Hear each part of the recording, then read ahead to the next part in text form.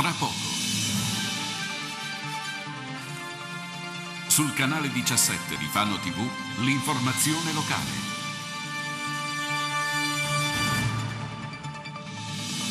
Truffa con effetti speciali in casa di una coppia di anziani. La donna si sente male ed è ancora ricoverata in ospedale. Cercasi mecenate per realizzare l'opera disegnata da uno scultore toscano per una piazza di Fano, costo 170.000 euro. Dal calcio alle bocce, tutto lo sport in pillole nella pagina sportiva in coda al TG. La vendemmia del 2016, la migliore di sempre.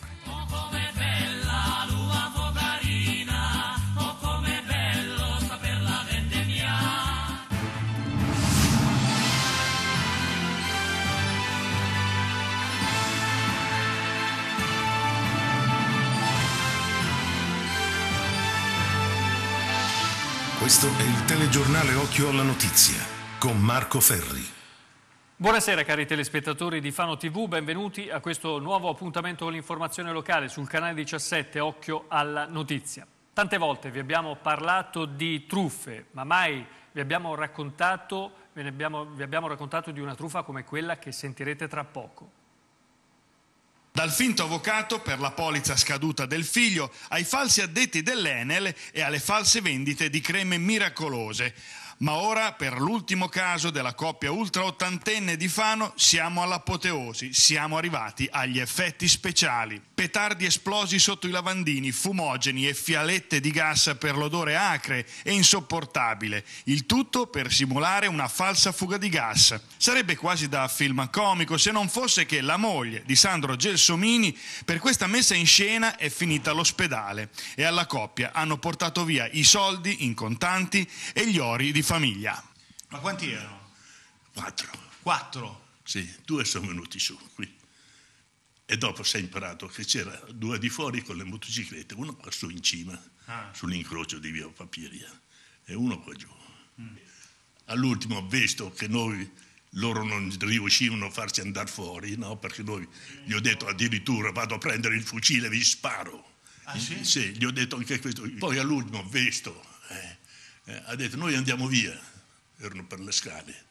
Voi se ci avete, eh, se volete morire qui, eh, fate voi, perché la, la casa sta per scoppiare. Era saturo di, di, di, gas, ma è una cosa, è arrivati i carabinieri dopo mezz'ora, hanno dovuto fuggire fuori. Non era i soliti petardi. eh. Era qualcosa di... Sì, gas, proprio gas, entrava nel- nella gola, ti, ti- ti levava il respiro. Loro sono partiti, no? Io, stupido come sono, sono partito, c'avevo qualcosa nascosto in soffitta. No, si teneva quel poco d'oro perché a metà scale erano Ah, tutti e due, non pensavo che mi veniva su dietro. no? E come ha fatto? Glieli ha strappati? Gli ha- No, io ero così, abbassavo la testa e lui era lì sul vicino alla porticina d'ingresso della soffitta, aveva preso il secchietto E via che andava. Gli ho dato sul, sul vasoio, no? gli ho dato... Glieli ha consegnati? Sì. Però non glieli voleva dare lei questi soldi. Eh, io Li portava via eh, per... andavo di sotto, fuori magari, no? se è vero o non è vero. È vero, Eh, ecco, eh, io non è per darli a loro.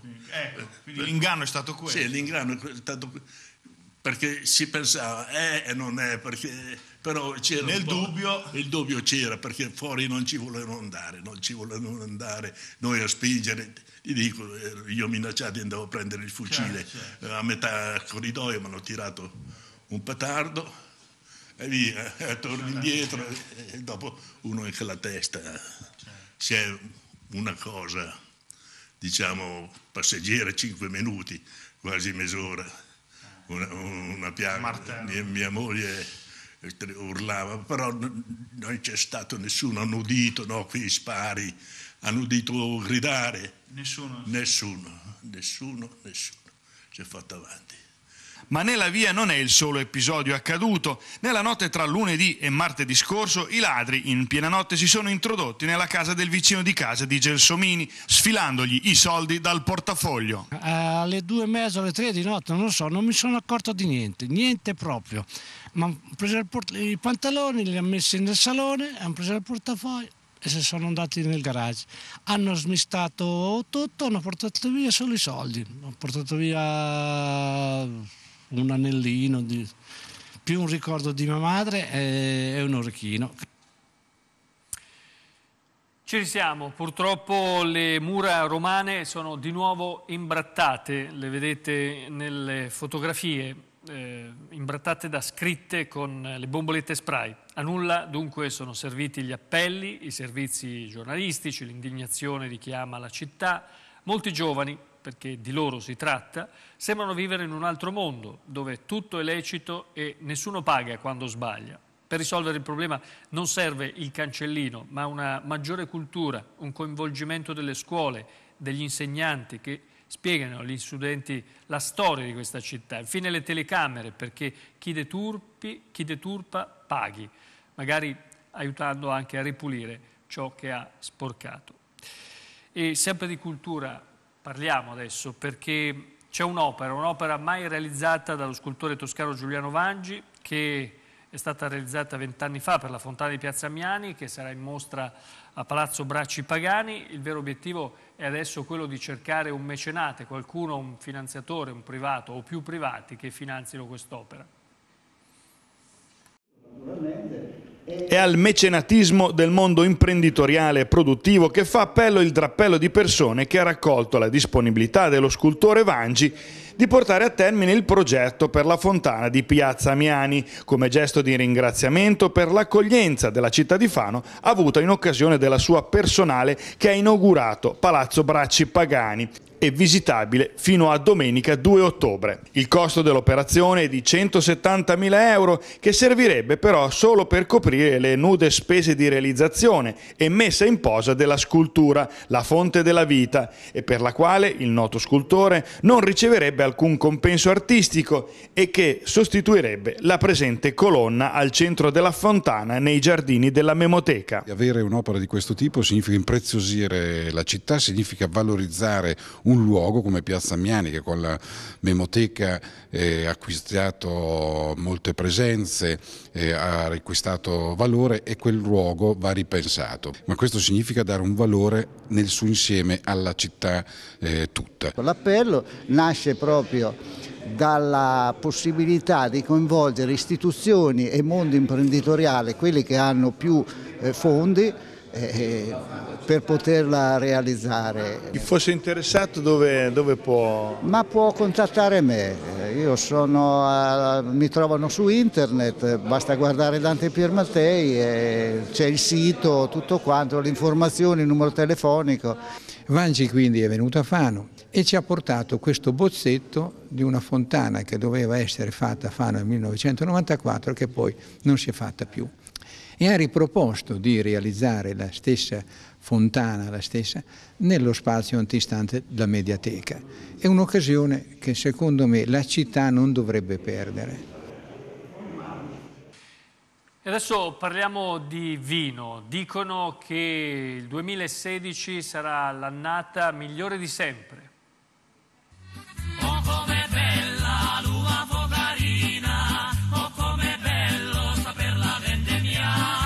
Periodo della vendemmia evoca nell'immaginario collettivo un periodo florido e festaiolo delle nostre campagne, legato all'abbondanza ed alla romantica immagine della pigiatura dei grappoli d'uva fatta dai piedi di dolci donzelle che a suon di musica danzano nei tini. Ahimè, nelle moderne aziende vinicole nulla di tutto ciò accade più ormai per lo più questa pratica la possiamo ritrovare nelle rievocazioni d'epoca sparse per le colline in questo periodo, quindi mese di settembre, mese di vendemmia.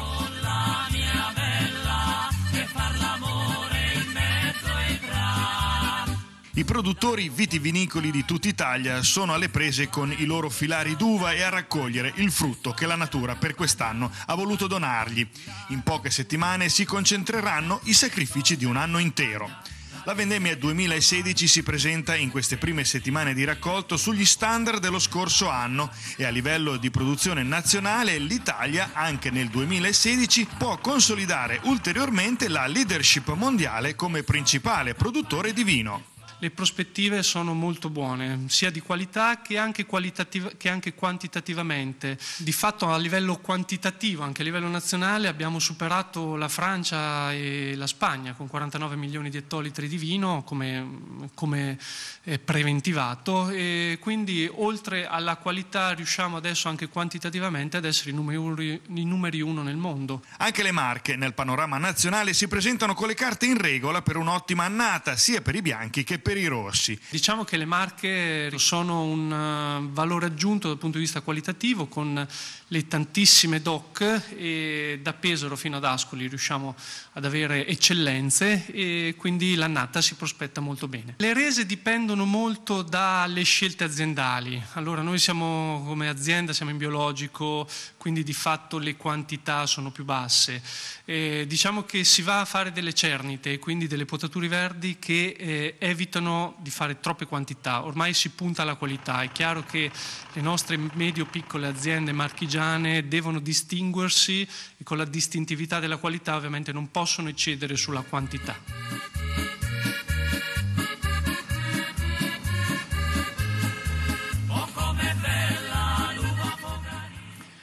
Resta che aspettare dunque e adesso invece dal vino agli spaghetti, quelli alla matriciana che sono stati serviti in piazza 20 settembre e che hanno dato la possibilità agli organizzatori di raccogliere per beneficenza 15.000 euro.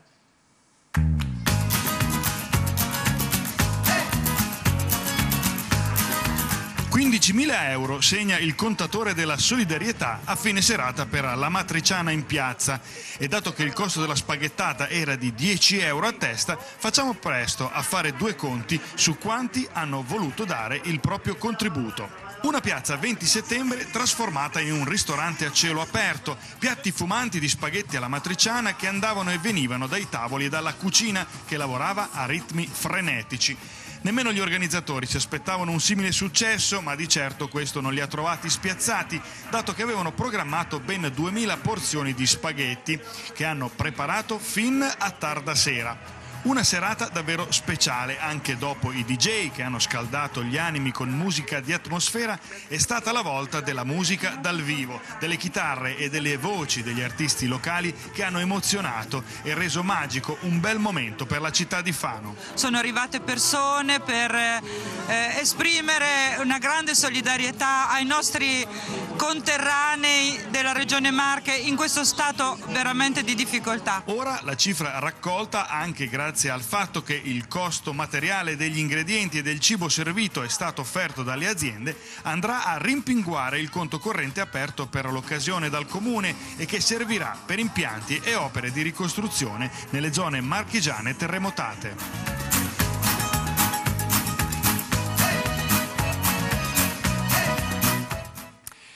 Allora, debutta questa sera su Fano TV, all'interno del nostro telegiornale, la pagina sportiva e per eh, tutti gli aggiornamenti abbiamo con noi in studio Matteo Del Vecchio. Ciao Matteo. Ciao Marco, eh, apriamo la pagina sportiva di questa sera parlando del campionato di Lega Pro e dell'Alma Juventus che è stata sconfitta per 2-0 sabato sera a Teramo. Una sconfitta che fa scivolare i Granata al terzultimo posto in classifica, superati dall'Ancona e dallo stesso Teramo. Entrambe nel primo tempo le reti dei padroni di casa firmate da Sansovini al quarto e Dorazio al 36esimo, con il Fano costretto poi a giocare in 10 tutta la seconda parte di gara per via del rosso diretto rimediato da Cocuzza al termine della prima frazione.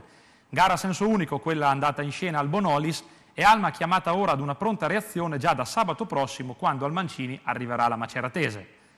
Vediamo ora con l'aiuto della grafica tutti i risultati e la classifica del sesto turno di Lega Pro. Ancona Modena 1-0, Bassano Virtus Sant'Arcangelo 4-0, il Padova batte il Gubbia a domicilio 1-0, Maceratese Pordenone 2-4, Venezia Lumezzane 2-0, Forlì San Benedettese 0-1, il Feralpi Salò espugna il campo di Mantova per 2-1, Parma Albinoleffe 1-0, come detto poi Teramo Alma Juventus Fano 2-0 e il posticipo del lunedì è quello tra Reggiana e Sudtirol.